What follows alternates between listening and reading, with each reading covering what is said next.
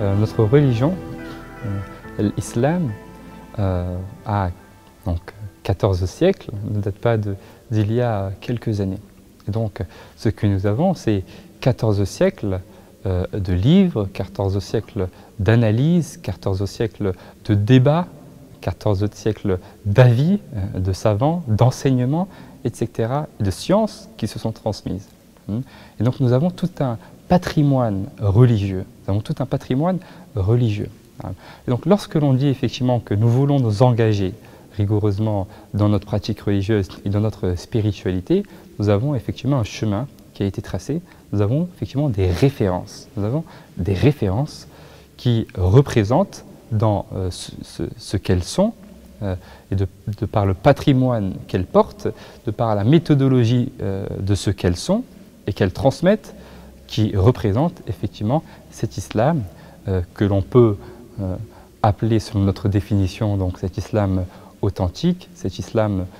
traditionnel qui s'est transmis donc de personne en personne, de savant en savant, de siècle en siècle, depuis l'époque jusqu'à aujourd'hui, et qui a permis à chaque époque euh, de répondre effectivement aux problématiques qui étaient posées, de permettre aux personnes à leur époque d'avoir une pratique religieuse de juste milieu, sereine, et qui leur a permis dans leur spiritualité d'essayer, autant que faire se peut, de rester sur ce chemin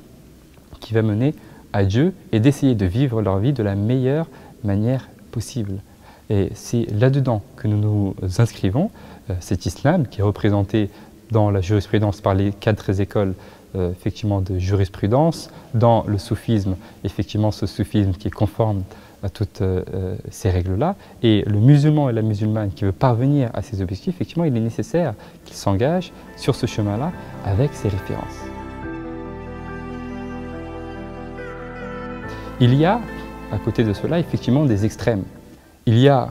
un extrême qui euh, nous amène euh, à délaisser euh, ces références-là, jusqu'à délaisser parfois des pratiques religieuses, des piliers qui sont pourtant ancrés dans la religion, du laxisme. Et puis il y a un autre extrême, c'est cette rigidité, cette solidité dans la, dans la pratique religieuse et cette, le fait de ne pas accepter par exemple la divergence et le fait de penser qu'il n'y a rien d'autre de possible qu'uniquement que la chose euh, que j'ai ou que j'ai lue, ce sont deux extrêmes euh, dans lesquels il est extrêmement donc, euh, dangereux de tomber. Et nos références, effectivement, elles nous appellent à rester dans ce juste milieu. Et nos références représentent justement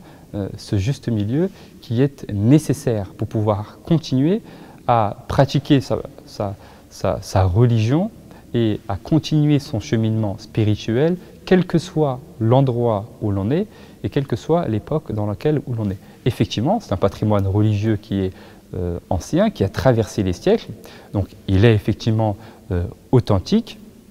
et c'est ce qu'il y a de plus euh, authentique, puisque on prend cela, comme vous le savez, par chaîne de transmission, depuis les auteurs jusqu'à aujourd'hui, depuis nos grands imams jusqu'à aujourd'hui, depuis le prophète sallallahu alayhi wa sallam pour le hadith jusqu'à nous, et depuis Allah subhanahu wa ta'ala pour le Coran jusqu'à euh, nous également.